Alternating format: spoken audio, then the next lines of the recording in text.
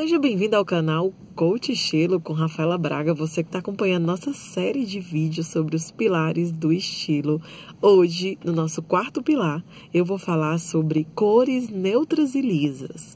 O quanto o seu guarda-roupa é composto por cores neutras e lisas e o que elas comunicam. Um guarda-roupa atemporal equilibrado é, ele tem realmente sim, né? Claro que a gente faz um estudo sobre o seu estilo pessoal e tem sim uma presença marcante de roupas neutras e lisas, que a partir dela a gente compõe uma base de trabalho para poder formar infinitas possibilidades de looks e que você possa realmente é, ter um guarda-roupa bem plural, né? Que te, que te acompanhe em várias ocasiões. Mas se de repente ele tem muita cor neutra, quando eu falo cor neutra, eu falo de é, preto, branco, marinho, cinza e bege. Basicamente são essas as cores mais básicas, né? De um guarda-roupa que seria mais clássico. Só que se ele tem muito disso, né? Principalmente com cortes mais clássicos, né? Não são cortes que se modernizaram com o tempo, ou de repente são roupas muito antigas, né? Roupas que você está aí guardando há algum tempo, que você é, tem gente que de repente guarda 20 anos. Claro que tem algumas peças que valem muito a pena, né?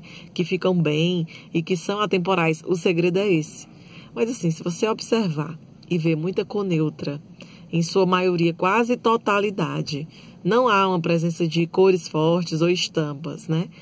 E cortes muito, muito, muito é, com uma cara de roupa antiga. É, pela minha observação, o que é que eu vejo? De repente, será que você não tem um padrão de inflexibilidade? Sabe, de repente uma pessoa que não está muito aberta ao novo, está muito presa às suas convicções, né? E é uma pessoa, de repente, que tem uma dificuldade aí de lidar com algumas situações por conta de uma certa inflexibilidade, que as coisas têm que ser realmente do teu jeito e se manter muito firme. É... Eu tive uma cliente que tinha bastante esse comportamento, né? E por uma questão é, do trabalho, ela precisou ousar, né? Precisou dar uma mudada, ela trabalha, trabalhava com imagem e precisou mudar isso. E isso trouxe uma mudança no comportamento dela. Então, assim, ela que mantinha o cabelo pintado numa cor única, chapada, fez umas mechas, colocou uns acessórios, a gente colocou algumas cores é, que se misturaram e deixaram o guarda-roupa dela, é, que já era mais clássico, né? Só com essas cores mais neutras, né, mais sisudas, no caso, deixava ela com um A bem sisudo, né, muita calça, muito blazer, camisa cinza, preto, bege, branco, só isso. Então ela trouxe mais leveza, ela passou a ser uma pessoa mais colorida, de fato, né? Passou a ser mais alegre, passou a ter uma comunicação melhor com as pessoas e a atrair mais as pessoas. Então, a nossa comunicação não verbal e a roupa influenciam muito nesse processo. Então, se você quer saber mais, se você se identificou, continua acompanhando a nossa série diária sobre os 11 pilares do estilo e que amanhã eu vou voltar com mais um para você, tá bom?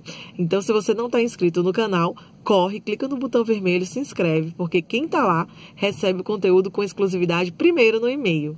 E também, você que lembrou de alguém, não deixe de compartilhar esse vídeo e deixar o teu comentário aqui embaixo, que eu vou fazer questão de responder e interagir com você, tá bom?